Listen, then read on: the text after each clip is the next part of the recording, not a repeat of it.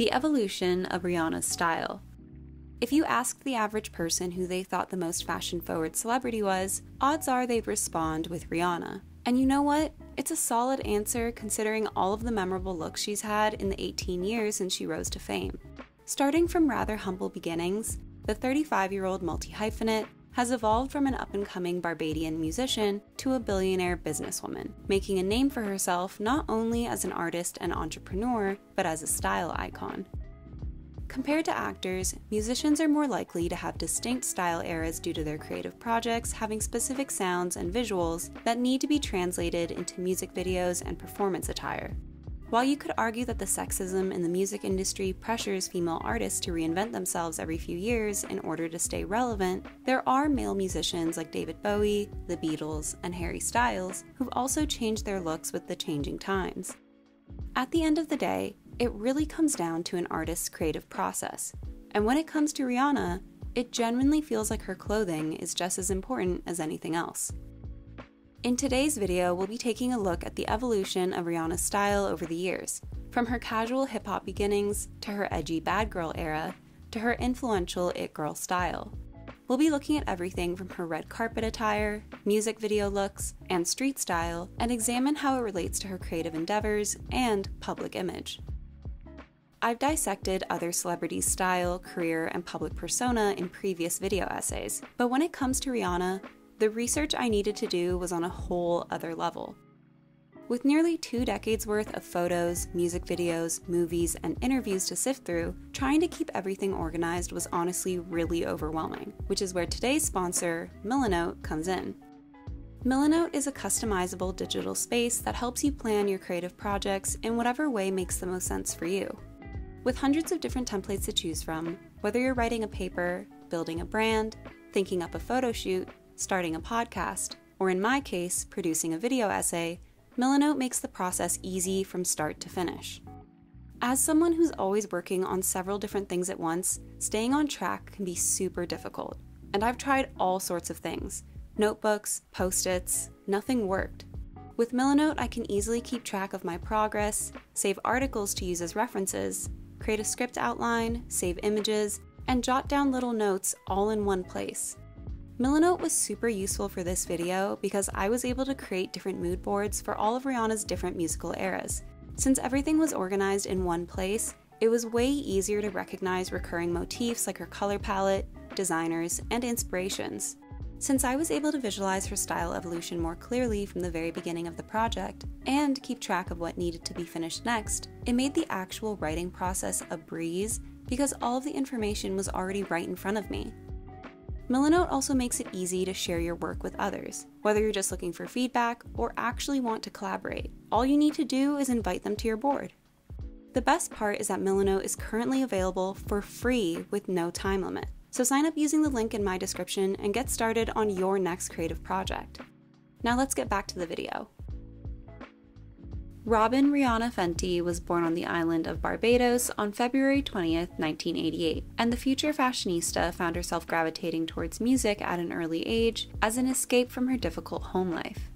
After auditioning for American record producer Evan Rogers in 2003, Rihanna began working with him on a demo tape, traveling between Barbados and the United States during her school holidays in order to complete it. This demo eventually made its way to Def Jam Recordings, where it was heard by newly appointed CEO Jay Z, who went on to sign Rihanna to the label in early 2005 when she was only 17.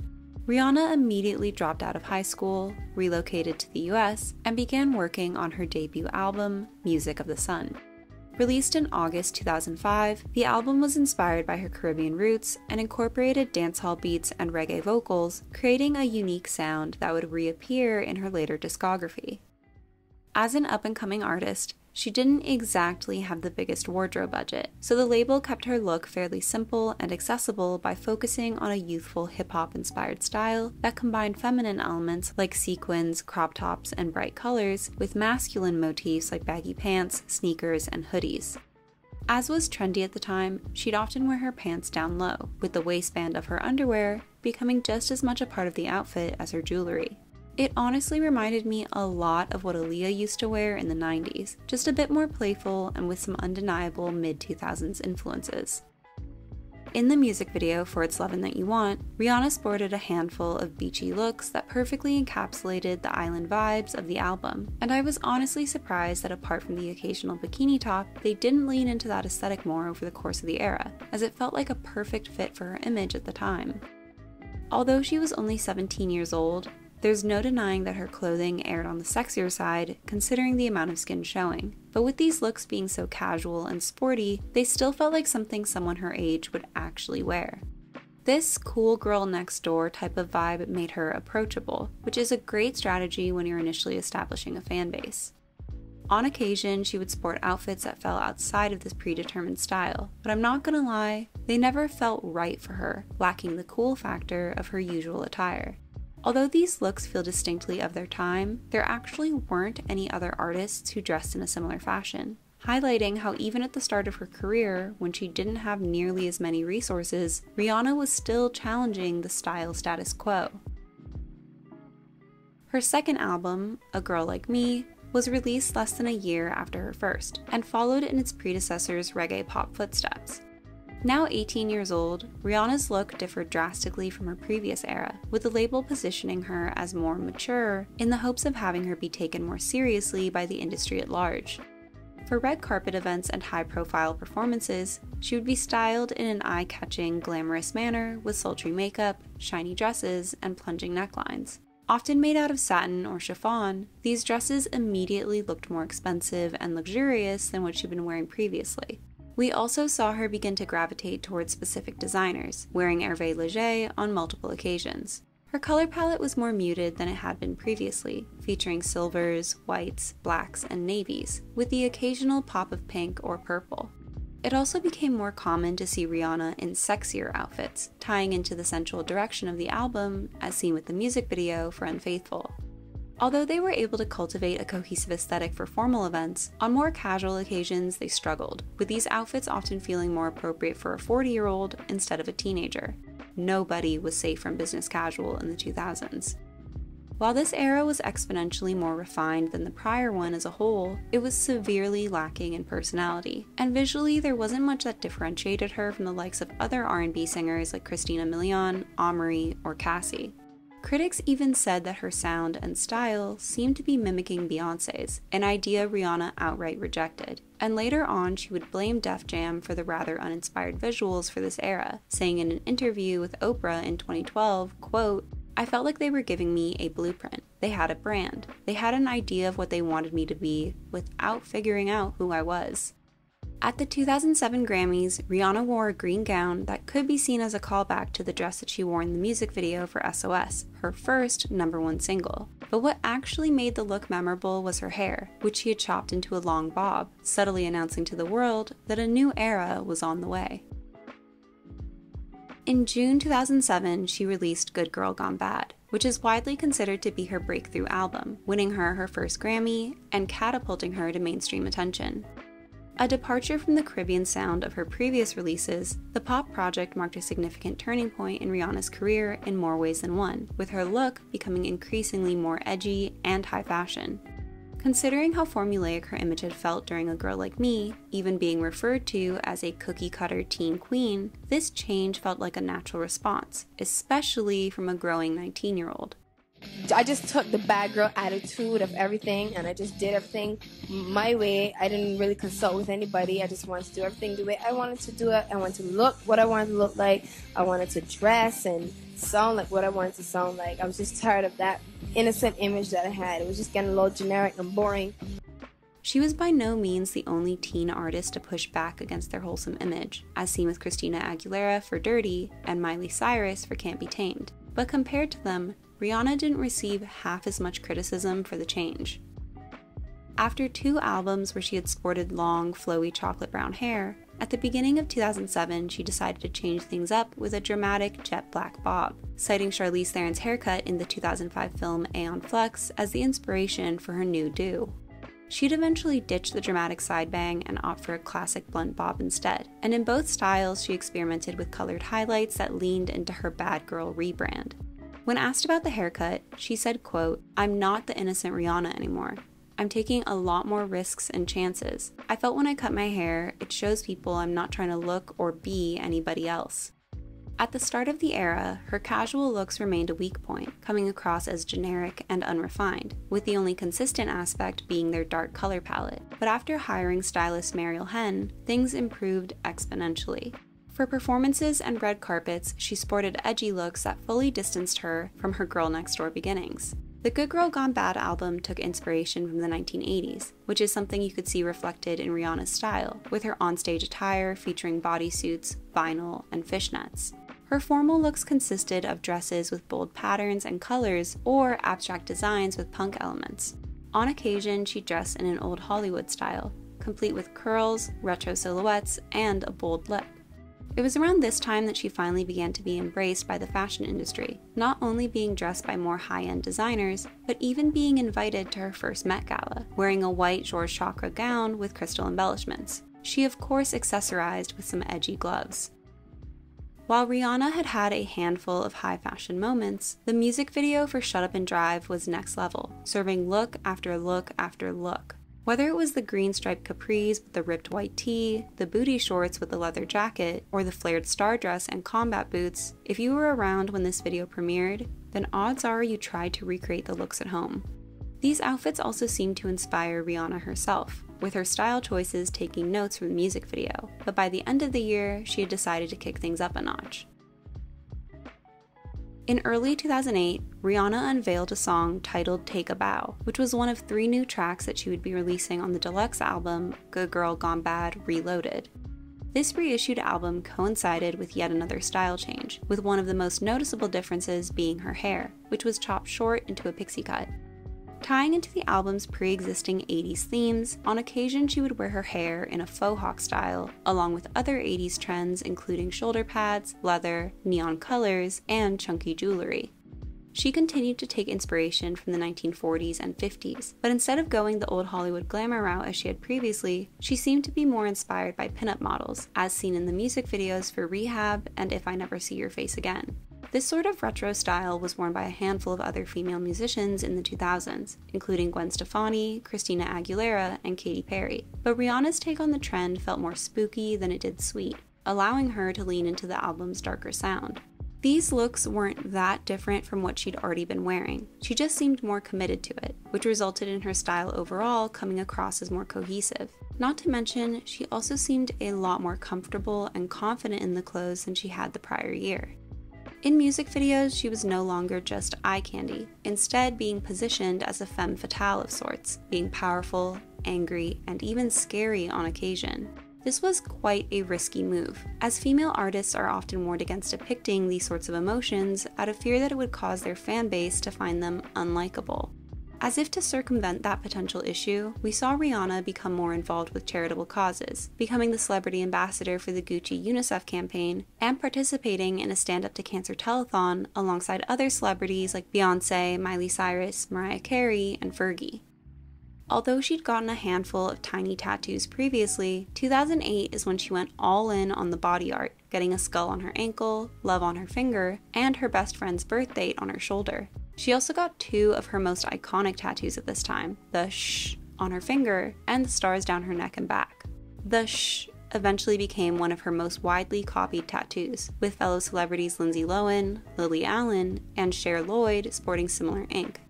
The stars were designed to match the behind the ear tattoo of then boyfriend Chris Brown. Both of these iconic tattoos were done by Keith Scott Bang Bang McCurdy, who has continued to work with Rihanna to this day. With Good Girl Gone Bad producing hit after hit, Rihanna was scheduled to perform at the 51st Grammy Awards on February 8, 2009, but the performance was abruptly cancelled the night of. Rumors quickly surfaced that the reason for the sudden cancellation was due to a physical altercation involving Rihanna and Chris Brown, who Rihanna had been dating since 2007, with the couple even being referred to as the Justin and Britney of the hip hop scene by the media. Leaked photos of Rihanna's injuries spread like wildfire, and a month later, Brown was officially charged with assault, which he eventually pled guilty to. Although he lost a few endorsements and his music was briefly banned on the radio, Chris Brown's career was only temporarily halted by this scandal, being invited to perform at the BET Awards the following year, where he proceeded to break down in tears, resulting in many members of the audience announcing their support and forgiveness, completely disregarding the fact that he had confessed to abusing one of their peers. 13 years later, Brown's career is still going strong, but I do wonder how differently things would have played out in this day and age with Rihanna's current level of fame. While all of this was playing out, Rihanna had stayed quiet, refusing to comment on the matter and going about her business as usual. As if needing to create some space between her and the music industry, we saw her lean into fashion like never before, attending her second Met Gala and sitting front row at various shows at Paris Fashion Week. This seemed to have a huge effect on her style philosophy, with her clothing becoming way more high fashion. And in my opinion, this set the foundation for the Rihanna we see today. In November 2009, Rihanna released her fourth studio album, Rated R, which featured rock and dubstep elements with a darker, angrier, more foreboding sound that was no doubt influenced by the difficult events in her life. In an interview with Diane Sawyer, she finally opened up about what had happened with Chris Brown, showing an unbelievable amount of strength and composure for someone who is only 21 years old. Although she had already shaved the sides of her head and had been sporting blonde highlights for several months, she took the plunge and bleached her entire head, styling it in an assortment of ways that called back to Good Girl Gone Bad. Less concerned with what was considered attractive and more about expressing herself to the fullest, Rihanna's red carpet and performance attire became more avant garde, featuring unconventional silhouettes and unique textures. She was steadily wearing more and more cult brands like Alexander Vauthier, Viktor and Rolf, and Elie Saab. And while she was commended for her risk taking, she ironically wound up on a good deal of worst dress lists that year. Her everyday style, which incorporated some of the hip hop elements we'd grown accustomed to, were often oversized, featured animal prints, and were slightly androgynous. She often wore white, gray, and black with the occasional pops of color, all of which mirrored the more morose tone of the album. Even the music videos released during this time period were less colorful, apart from Rude Boy, which many saw as a return to her roots with its Caribbean inspired sound and visuals. I'm not going to lie, this is probably my least favorite of Rihanna's style eras. The hair color completely washed her out, and I just don't think that the gigantic shoulders were the right move. It was giving Nosferatu, and not in a good way. Not to mention that in hindsight, it just doesn't feel like her. In mid 2010, Rihanna dyed her hair Little Mermaid red, signaling the start of something new. Unnatural hair colors were all the rage at the time, with other artists like Nicki Minaj, Katy Perry, and Lady Gaga completing the rainbow on the red carpet. In June, Rihanna collaborated with Eminem on the single Love the Way You Lie, which became an instant hit. The music video, which starred Megan Fox and Dominic Monaghan, featured depictions of domestic violence, which many interpreted as Rihanna's way of reclaiming what had happened the prior year, with some critics saying that art was imitating life. She kept the red bob for a few months, before eventually debuting a shoulder length curly style that would prove to be iconic. Loud was released in November 2010 and marked a return to the bright and optimistic sound of her first two albums, with its debut single, Only Girl in the World, immediately solidifying the aesthetics of the era. A Tumblr dream, the music video featured lace bustiers, knee high socks, floral prints, pastel colors, and eccentric hair accessories, all of which were trending at the time due to a retro revival in fashion. Rihanna had fooled around with this sort of mid century pinup style back in 2008, but this time around she did away with any of the punk elements, instead, combining this vintage aesthetic with contemporary casual attire. What really sold this retro inspiration was her hair, which would often be styled in victory rolls, beehives, and pin curls. It feels really loud and liberating, you know. It's not a very quiet color and it, it grabs a lot of attention, I, I have to say, whether it's positive or negative, but I love it. I don't know why, I just really like it. I think it's really expressive and daring. Around this time, Rihanna released the perfume Rebel Fleur, officially marking her first business venture outside of music. The product was marketed as a representation of her personality, being equal parts rebellious and sweet, and this duality was highlighted in her clothing choices as well, with her everyday style being fairly toned down, while her performance attire was bright and bold with continued retro influences. In 2011, she began working with stylist Mel Ottenberg, who took her red carpet looks to the next level, pulling designs from the likes of Jean Paul Gaultier and Christian Dior. Rihanna also landed her first Vogue cover that year, confirming that she'd been acknowledged by the fashion industry at large. In August 2011, she debuted a new hairstyle of bouncy ombre curls, which was quickly followed by the release of We Found Love, the first single off her album Talk That Talk, which was recorded during the European leg of the Loud Tour. This started what I consider to be Rihanna's London era, with the singer appearing on the covers of several British magazines, performing at UK festivals, collaborating with Coldplay, referencing British films in her music videos, and even being a presenter on the reality competition show Styled to Rock. This happened to coincide with the 21st century British invasion, with One Direction releasing their debut album, the royal wedding of Prince William and Kate Middleton being the event of the year, Doctor Who's fan base nearly tripling because of social media, and the entire world gearing up for the London Olympics. With people becoming so fascinated with all things UK, it wound up influencing fashion, with riffs on the British slogan Keep Calm and Carry On from World War II becoming popular, and Union Jacks appearing on just about anything. The irony of a bunch of Americans wearing that flag is not lost on me. Her style in the first few months of this era was a combination of 1950s Americana, 1980s British punk rock, and 1990s hip hop, essentially putting elements of her prior eras into a blender. As a result, she was often spotted wearing camo print, varsity jackets, bandanas, plaid, denim, platform shoes, graphic tees, and overalls. As a soft grunge girly, her looks during this period of time were right up my alley. In early 2012, she switched up her hair once again, opting for a layered blonde do. She also phased out the 1950s influence in her street style and leaned into the 90s vibes instead with sheer pieces, knee high boots, and tailored trousers, which created a sleek and sexy look that was similarly reflected in her red carpet attire. Honestly, she was giving model, and I wish it hadn't been so short lived. A few months later, she dyed her hair black and shaved it on one side, an unconventional style that had been sported by Cassie a few years earlier. Whether Rihanna was doing press for Battleship, shopping in Cannes, sunbathing in Barbados, partying at Coachella, or performing at the Victoria's Secret fashion show, she always looked like she was having the time of her life. There was an effortlessness to her style at this point, where it just felt like everything worked without even having to try. Tying into the 90s model vibes from earlier, it also became more common to see Rihanna wearing Chanel accessories, a brand that she still gravitates towards today. Despite spending the year traveling all over the world, she still had enough time to record a new album, releasing Unapologetic in November 2012. The album notably included a song that featured ex boyfriend Chris Brown, who Rihanna had reconnected with earlier that year. Critics and fans alike were quick to voice their opinions on the matter, with some saying that Rihanna was setting a bad example by re entering a relationship with her abuser. Tying into the unapologetic message of the album, Rihanna brushed these criticisms aside, insisting that things were different now. It almost felt like we'd gone back in time, with Rihanna even looking like she had when she and Chris Brown were initially dating, having chopped her hair into a dark pixie cut that was reminiscent of her hairstyle during the Good Girl Gone Bad Reloaded era. Again, considering her sorry, not sorry attitude at the time, I'm inclined to believe that the resemblance was intentional. Her style switched between minimal chic and feminine hip hop, with an emphasis on figure hugging silhouettes, short hemlines, neutral colors, and eye catching accessories.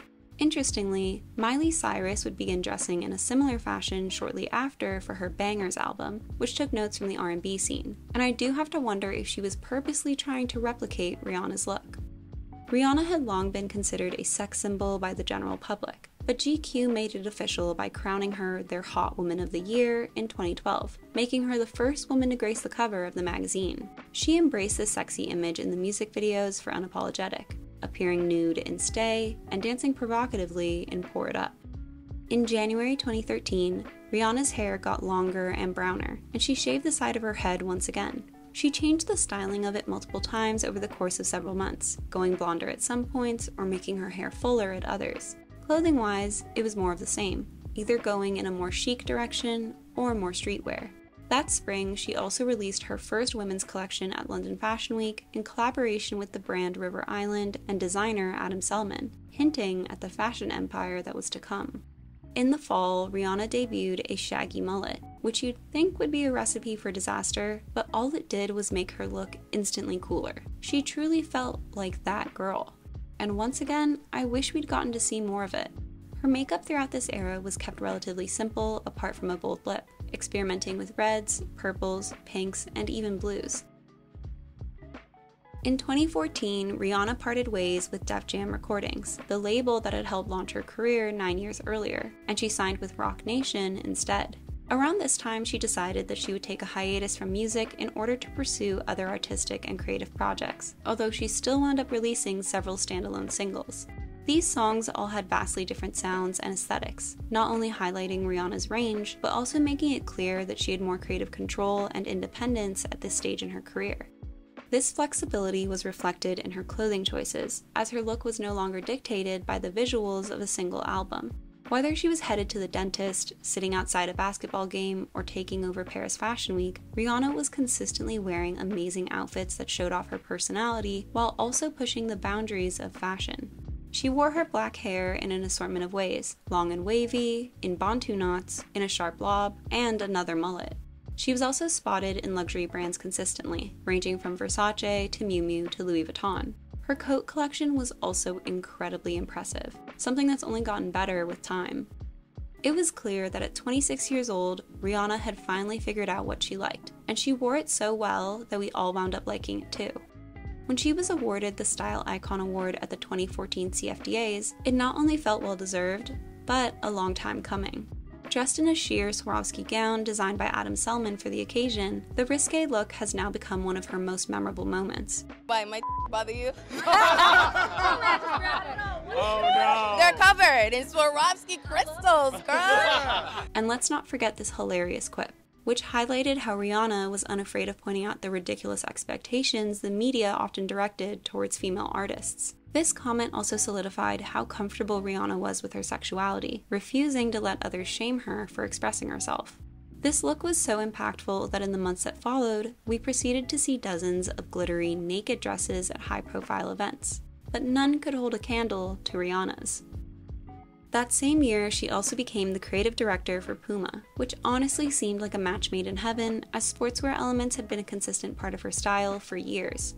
Her first collection for the brand, released the following year, was a massive success, with the Fenty Puma Creeper sneaker selling out in mere hours, eventually becoming one of the most coveted shoes of the year right alongside the Adidas Yeezy Boost. In 2015, she was chosen as the new face of Dior, making her the first black woman to be the face of the brand in its over 70 year history, which really emphasized how famous she had become. She also dyed her hair red, although in a less saturated shade than five years prior, which set people abuzz as they wondered what she could be up to. While many hoped for an album, what they didn't know was that she was ramping up for her most iconic look to date. In May, she attended her sixth Met Gala, where she proceeded to steal the show, being one of the most talked about celebrities of the night. Now, Rihanna's previous Met Gala looks had been perfectly fine, but they were nothing compared to the canary yellow gown designed by Guo Pei, Numerous memes sprung up online after the dress was revealed, eventually resulting in Rihanna's gown being credited for reinvigorating the public's interest in the event. After this, she switched to tight brown curls, marking her third major hairstyle change that year. Talk about a chameleon. One day she was soft and demure, the next she was grungy and dark, and then the next she was sporty and relaxed. It was so well established at this point that Rihanna was a trendsetter that other celebrities even cited her as their style inspiration, she had the unique ability of making just about anything look good, a talent that not every person has, so oftentimes when other people tried to recreate her looks, it rarely worked out. This added to the level of respect the public had for her style, as it proved that her aura alone was enough to take an outfit from drab to fab. Rihanna had been incessantly badgered about her eighth album by fans and the media alike, and after months of vague promoting, Anti was finally released in January 2016. The album was more experimental than any of her past work, highlighting her new creative freedom now that she was with a new label, and also making it clear that she considered herself established enough that radio play was no longer vital for her commercial success. At New York Fashion Week, Rihanna debuted her first clothing collection with Puma, which mixed athleisure with punk, motifs that had become staples of Rihanna's wardrobe, and everything that came down the runway did wind up feeling like stuff that she would actually wear. At the start of the year, she had a chin length bob, which tied into the I'm the boss vibes perfectly, and she also wore sporty looks as an ode to the Puma brand. Later on, she went back to long hair, with these looks continuing to feature the distinctive Rihanna flair that we come to recognize. Many of these outfits came straight off the runways, but were styled in unique ways that made them look totally different. One notable aspect of her style was that she wore a wide array of brands and was totally unafraid of mixing them together, something a lot of stylists and celebrities actually shy away from out of fear that they'll step on someone's toes. This really emphasized just how powerful Rihanna's image had become, as she was keenly aware that any brand would leap at the opportunity to be worn by her in any capacity, and wouldn't dare complain about how they were styled. At that year's VMAs, she performed several medleys of her greatest hits, with each segment being given its own elaborate performance, complete with choreography, outfit changes, and giant set pieces. These performances not only highlighted how much Rihanna had grown as an artist over the last decade, but made it clear that she was a star she was given the Lifetime Achievement Award that same evening, which was presented to her by rapper Drake, who she had collaborated with in the past. The two had also been dating on and off for several years, and when handing her the award, he attempted to kiss her on stage, which she not so subtly declined. Rihanna was notoriously private about her relationships, likely because of the type of attention directed towards her when she was with Chris Brown, and this public display of affection at the VMAs might have had a negative effect on her and Drake's relationship, as a few years later she mentioned that the two were no longer speaking. In late 2016, filming began on Ocean's 8, with Rihanna specifically requesting that the character, Nine Ball, wear her hair in locks, this was actually a pretty huge deal when it came to representation, as the hairstyle, while a staple of the black community, was still a rarity on screen, especially on women. In fact, it was actually more common to see white actors sport the hairstyle than black actresses, which is yikes on so many levels. Apart from one scene in the film, Nine Ball's look was rather casual, being a combination of Rastafari clothing and 1970s counterculture styles that included combat boots, overalls, and army jackets. As if inspired by the character, Rihanna's personal style took a more casual turn as well, and even for dressier occasions, she added an urban twist. In 2017, Rihanna's personal style basically fell into one of two camps structured looks with an emphasis on unconventional tailoring, or casual attire with an avant garde twist. More often than not, these outfits would have a looser, baggier fit that didn't focus on her figure, which resulted in rumors spreading that she was pregnant because she wasn't showing off her body as much as she had previously. When this obviously wasn't the case, people began to talk about her weight in a negative manner. Rihanna was about to turn 30, an age that the media often categorizes as old and undesirable, and seeing people openly compare her to her teenage self was incredibly disheartening. In typical Rihanna fashion, she shrugged off the comments and would tell people that she was perfectly content with the way her body looked and that it was normal for a person's weight to fluctuate. In an interview, she even explained that the changes in her body allowed her to explore her style even further. Quote, I really pay attention every day when I go into the closet about what's working for my body that morning. I feel like that's how everyone should go after fashion because it's an individual thing. And then if you take it further, it's like, what week are you having? You having a skinny week? You having a fat week? Are we doing arms this week? We doing legs this week? We doing oversized? In September, she officially released her revolutionary cosmetics brand, Fenty Beauty. When they first launched, the company quickly made a name for itself for its skin inclusivity, having an unprecedented 40 shades of foundation that made other brands' color range look like a joke and the product was such a phenomenon that it even led to Time magazine calling it one of the best inventions of 2017. The popularity of Fenty's foundation eventually led to what was coined the Fenty effect, which saw other beauty brands diversifying their products and marketing, in part because they wanted to replicate her success, but also because customers were more willing to call them out for their negligence. Earning over $550 million its first year, other celebrities were inspired to enter the lucrative beauty industry, with Selena Gomez's Rare Beauty, Ariana Grande's REM Beauty, and Lady Gaga's Haus Laboratories being released in the years that followed to varying amounts of critical and commercial acclaim. Although she had collaborated on a handful of songs over the course of 2017, in 2018 she ignored music entirely in order to focus on other business ventures, with Fenty Beauty launching several products that would proceed to become cult favorites. That same year, she also released a lingerie brand, Savage Fenty, which debuted at New York Fashion Week and was praised for highlighting a wide array of body types and ethnicities on the runway. With all of her brands having an emphasis on diversity and inclusivity, it's clear that this sort of representation is something that Rihanna is passionate about, which is understandable as her own body and skin color had been a talking point since she rose to fame. Coinciding with the release of Savage, Rihanna took to wearing figure hugging silhouettes once again, resulting in a feminine yet edgy look that mirrored the brand's designs. The unofficial Queen of the Met Gala, in 2018, Rihanna had the extremely prestigious position of co chair for the star studded event. She took the theme, Heavenly Bodies, Fashion, and the Catholic Imagination, literally, wearing a Maison Margiela design that paid homage to the Pope himself. The outfit caused quite a scandal, with people calling it anything from blasphemous to sacrilegious. I personally think that the Catholic Church has bigger problems to deal with instead of getting upset over a celebrity's dress. In 2019, Rihanna expanded her empire even further, launching the Fenty fashion brand under luxury fashion group LVMH, making her the first woman of color to lead an LVMH brand. Her outfits that year were eye catching and bold, featuring bright colors and fun silhouettes. There was also an air of sophistication to these looks, tying into her newfound career path, but of course, she still knew when to have fun with fashion. In 2020, Rihanna began dating fellow musician ASAP Rocky, who she had not only collaborated with in the past, but had a similar reputation for being incredibly stylish. Throughout 2020 and 2021, the pair were a fashion dream team, often pictured strutting about New York City in complementary outfits.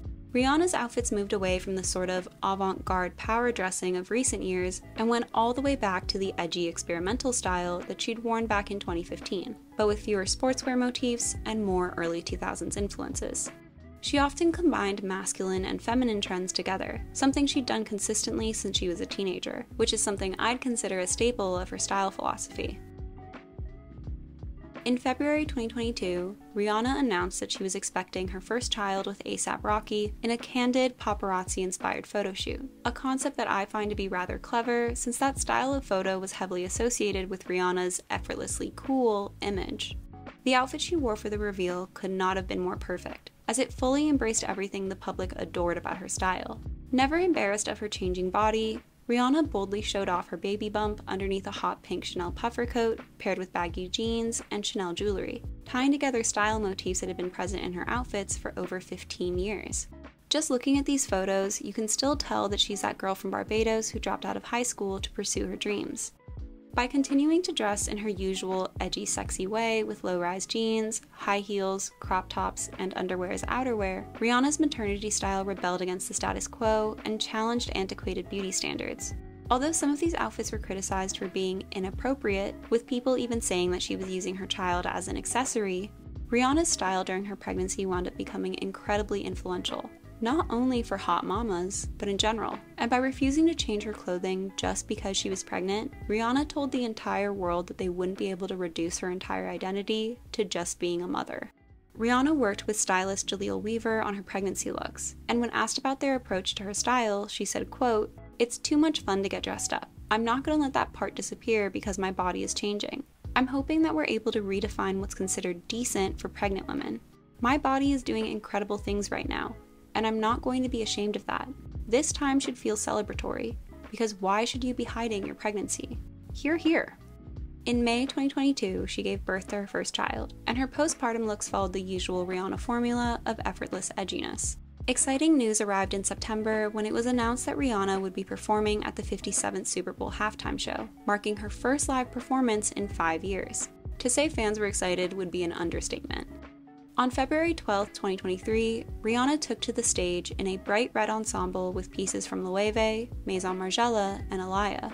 During the performance, it became clear that Rihanna had a surprise guest with her, her second child, which her team confirmed the following day. As if being the most watched halftime show of all time wasn't enough, this pregnancy announcement practically broke the internet, and Rihanna was all anyone could talk about for a solid week. With the cat officially out of the bag, Rihanna began boldly showing off her baby bump in a continuation of the style she'd worn during her first pregnancy. She gave birth to her second child on August 3, 2023, and that same year it was also announced that she was officially a billionaire, with her various Fenty ventures making her one of the richest women in the entertainment industry. Although she's released a handful of singles these last few years, it doesn't seem as though the ninth album is coming anytime soon, which is understandable considering all of the other things she's got on her plate. But let's keep our fingers crossed anyway. It's been nearly two decades since Rihanna first burst onto the scene, and she's since accomplished feats that many thought were impossible. Constantly keeping us on our toes, it's hard to say what Rihanna will get up to next, but one thing's for sure she'll look great doing it. Which of Rihanna's many fashion eras is your favorite? I hope you enjoyed this video. Don't forget to like and subscribe, and I'll see you soon. Bye!